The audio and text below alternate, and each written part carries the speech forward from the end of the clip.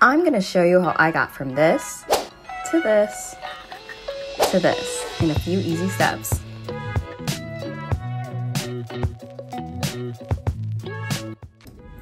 Hi, welcome to Chism Prism. Today I'm going to show you this software I use, Nomad Sculpt, which I use to make all of my 3D models on my iPad. And it's not as hard as those softwares you see that's more technical, like Blender. This is a quick and easy um, tutorial that I'll run through of how I made this cylinder pot.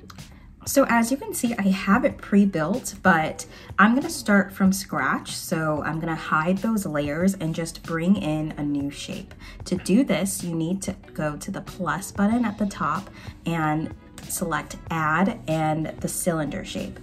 From there, you'll notice that you have all these arrows and um, circles moving around, but remember it's the Y, X, and the Z axis, and that's how you move it back and forth, up and down, take it in and out. Um, something that's notable that I use is the tiny circles that will bring in and expand the shape from the center, so it will always be in a center formation.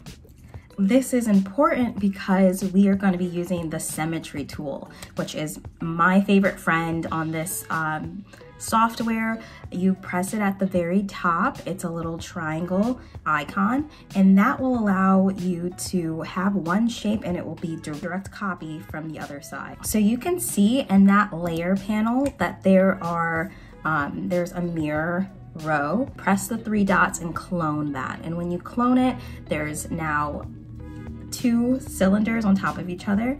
And I like to take that and use the snap tool which set to 90 degrees, thinking of 360 of a circle, and you're gonna rotate that and it will snap into place as 90 degrees. And that you're just gonna keep repeating.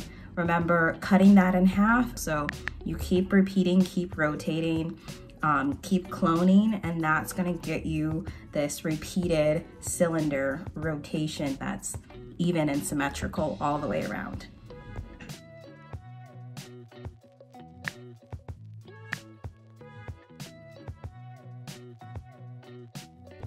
Also a tip before I clone again, I do join the previous layers together just so that the there's not so many stacked layers on top of each other. It just makes it easier.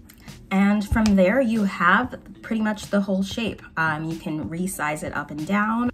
The next step is we have to hollow out that inside. So what I'm gonna do, I'm gonna add another cylinder. I'm gonna shrink it in using that smaller circle to make sure it compresses from the center. And once we have it where we want it, um, we're gonna go ahead and, and stretch it and pull it as desired. Then we need to hide that layer that we just added the new cylinder and select the other object that we have. We're gonna go to voxel and you're going to merge, voxel merge the object together. This will eliminate that inner portion of the object, leaving you with the, the shape that we're desiring for the pot. Then lastly, we're gonna need a bottom on this pot. So we're just gonna add one more cylinder. And with that cylinder, you're going to, again, compress it down so it's a very thin disc shape and then you're gonna size it and place it at the very bottom of your object. And we're gonna make sure we want holes in this if we're gonna make a plant pot. So you're going to use the hole button at the top and create, just bring in the blue, the blue dot, the smallest, um, as far as you want it. And there we go, we have it. The object is now rendered. So the next step, we need to export this file to our computer. So you're gonna go up to the file, you're gonna scroll down to export, and you're gonna select STL file. If it's a very clean file with only one layer, you can um, just send it off or selected layer, um, and then send it over to your computer. Once in your computer, we do need to transfer it so it's readable for your 3D printer. So the software that I use is Ultimaker. Um, I do recommend it. It's very easy to use and it's free. Um, so definitely go to the website and you can download it to your computer. Once you have it downloaded, open it up, you're able to drag in your file that you saved over into the software and immediately it will render your design. And, and there's a lot of great options in this software. You can add supports, you can change the density of the inside of the object, you can change the size and scale, um, all that good stuff. But once you have it where you want it, you're gonna select slice and slicing is when it's gonna prepare your file. The file that I had in there was a hundred, it was a 10,000 times the original size. So a file that big is going to take some time. 10 hours later.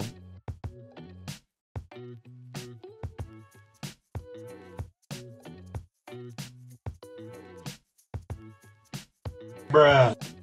And you can see it's it was loading for a while to find out that it 15 hours. 15 hours to print. Design that i used did take 15 hours but you can also scale it down and i'll show you that the print time is much less than before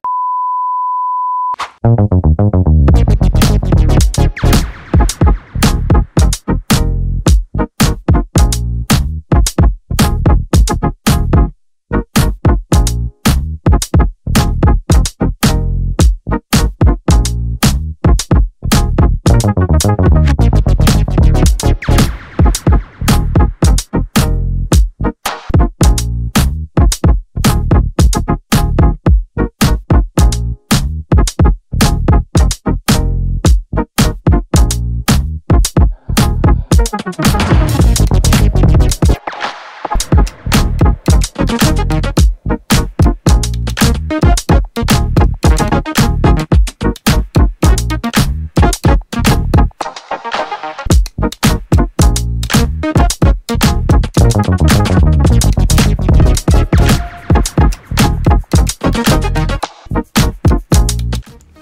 important tips I learned along the way is choose your filament wisely. This new one that I was testing out had wood fibers within it and it kept clogging up my machine, limiting me in the height that it would print at, so I created it in parts. And secondly, use supports. When I was designing new shapes, I wasn't using that and look what happened. It became a hot mess.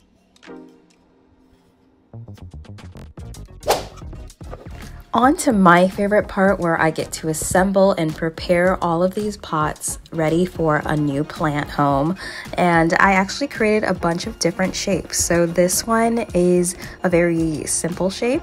This one also had trouble finishing to its full potential, but I used glue to assemble these. And then lastly, I had more of a stacked octagonal version and it comes apart in two. So like I mentioned, I used my hot glue gun and I just started putting together each layer to make sure that they are connected.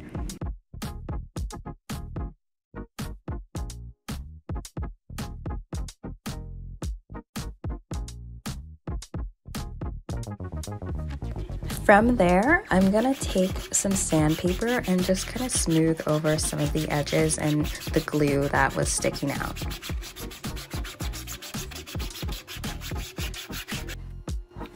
To get an even smoother look, I used some polyfill and I just went across each pot and smoothed it over its surface. It does take a couple of hours to dry, but once it's dry, it just fills in the cracks, some of those grooves, um, and makes a really smooth surface.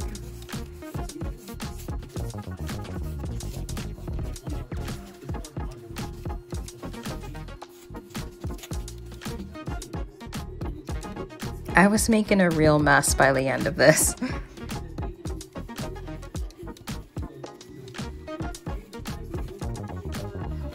Then again, I'm going to take my sandpaper and go over after it's dried, just really smooth down the surface.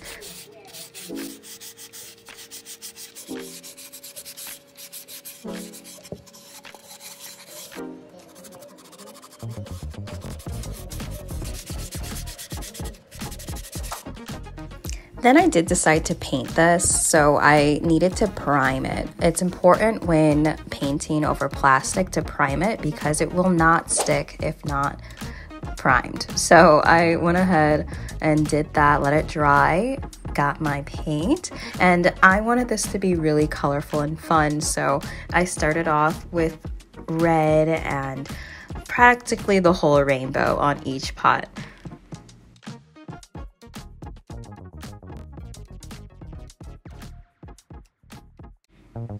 I can definitely say I am obsessed with color. I love color in spaces. I think it's so vibrant and it brings so much life and energy. And I definitely wanted these pots to reflect that as well.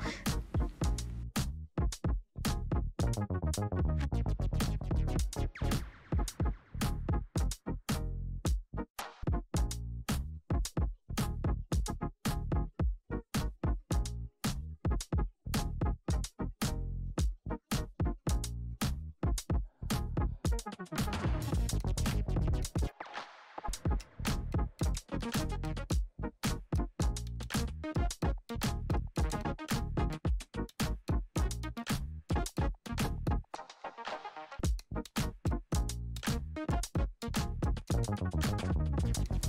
the paint dried, I went ahead and sprayed each pot with a clear matte coating just to make sure that the paint sticks, everything's secure.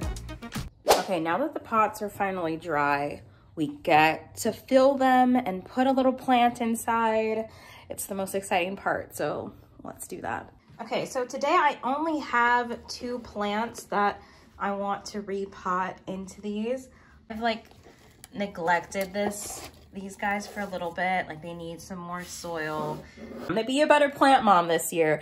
So I'm gonna take care of them. I'm gonna give them some new pots, some new soil, refreshen it up and make sure they're in a good spot with a lot of light because these are um, succulents. Uh, this is an aloe vera, but I think they like a lot of light. I don't know. We're gonna do some research. We're gonna figure it out. And we're gonna make sure that these babies are thriving, thriving this year, okay?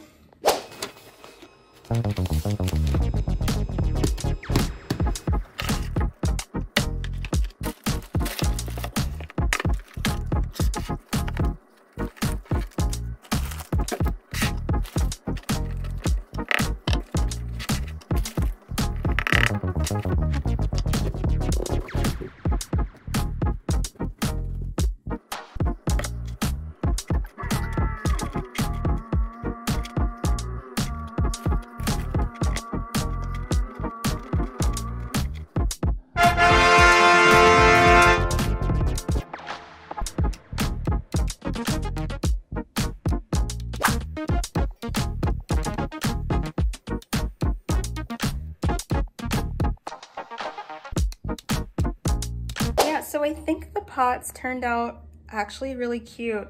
I'm excited. I realized with my other shapes that I had, like this one, or when I remake these, I'm gonna make sure to put a hole at the bottom for drainage um, for pots. So I might end up using those for like pencils or like other little decoration things in the house. For my first attempt, I would say like I'm actually really satisfied with how they came out. More to come on the plant life in this apartment. In the meantime, I'm gonna perfect these designs and make even more because I love making them. I hope you guys enjoyed this video explaining how I made these 3D pots from my printer and I'm excited to make more in the future. If you guys enjoyed, um, write in the comments down below like what was your favorite pot out of all of them. And if you have any 3D printing tips or anything like that, I would let's start a conversation down below. I love what you guys contribute to these videos. So thank you so much for watching and I hope you have an amazing day. Bye.